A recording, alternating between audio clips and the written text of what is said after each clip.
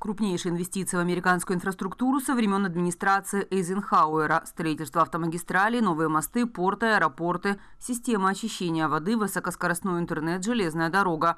Все это американские достижения последних лет. Инфляция снижается, реальная заработная плата растет, уровень безработицы уменьшается. Только в январе 2023 года в США создали 517 тысяч рабочих мест. Это означает, что мы создали 12 миллионов, 12 миллионов рабочих мест с тех пор, как я вступил в должность. Это означает, что мы создали больше рабочих мест за два года, чем любой президентский срок в любое время за два года. Это два года самого сильного роста числа рабочих мест в истории. Как говорил мой отец, работа это гораздо больше, чем зарплата. Речь идет о вашем достоинстве. Ранее оппоненты республиканцы возложили ответственность за всплеск инфляции до более чем 8% в 2022 году на обширный план расходов Байдена для борьбы с COVID-19. Но официальные лица США заявили, что рост цен в основном был вызван вторжением России в Украину. Я бы сказал, что экономический план Байдена работает. За последние два года мы слышали, как хор критиков списывал мой экономический план. Они говорили, что рост просто невозможен. Они сказали, что мы не можем вернуть американское производство. Они сказали, что мы больше не можем ничего делать в Америке. Что ж, сегодняшние данные кристально ясно показывают то, что я всегда знал нутром. Эти критики и циники ошибаются. Не последнюю роль в экономическом росте Америки сыграла максимальная поддержка президентом Байденом Украины, считает директор Центра международных исследований Владимир Дубовик. В том числе ракетные комплексы «Хаймарс» и боеприпасы к ним, которые Украине начали передавать в первые месяцы войны, производят в одном из самых бедных штатов – Арканзас на юге США. Вот этот мощный рывок э, в создании рабочих мест между там, 170 тысяч или 200 тысяч в месяц на 500 тысяч – он связан, может быть, и с тем, что поступают массово сейчас военные заказы на оборонную промышленность.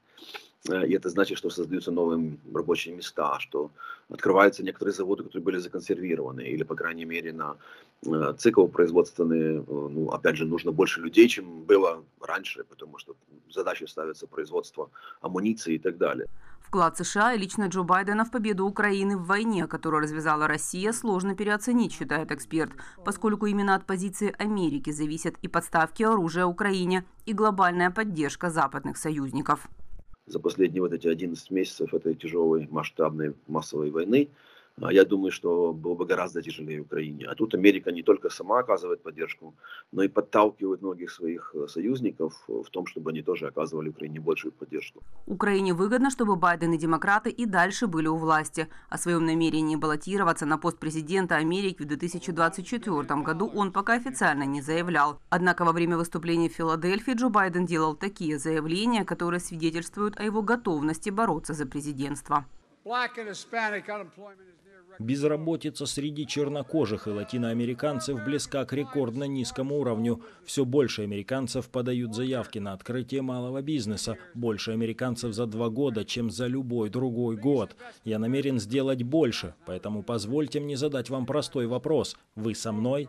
Многочисленные американские источники сообщают о начале подготовки к избирательной кампании. Байден заявит после выступления с обращением о состоянии дел в государстве 7 февраля. Официальное заявление сделает ближе к весне, и уже в ближайшее время глава Белого дома планирует посетить Польшу. Символичность, да, вот, вот она имеет значение. То, что встречаются, не боятся, продолжают координировать свои действия, остаются союзниками, роль Польши здесь очень велика.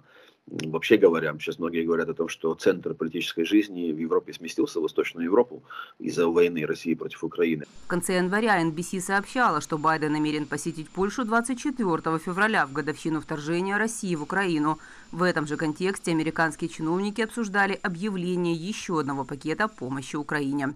Наталья Гусак, Владимир Штангелов для телеканала «Фридом».